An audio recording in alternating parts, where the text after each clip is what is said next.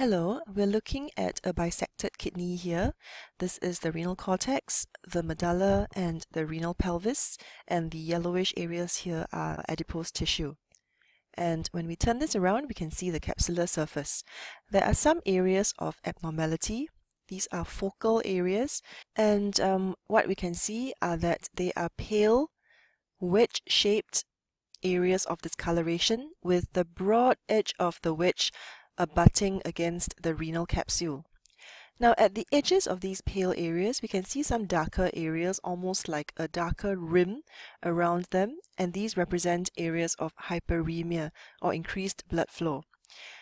These pale areas correspond to renal infarcts and what we will look at under the microscope would be areas of coagulative necrosis, and this is due to ischemia or decreased blood supply. And the commonest cause in this instance is usually uh, thromboembolic phenomena going into the branches of the renal arteries, therefore occlusion, and causing this wedge-shaped area of coagulative necrosis. So the diagnosis here is renal infarct.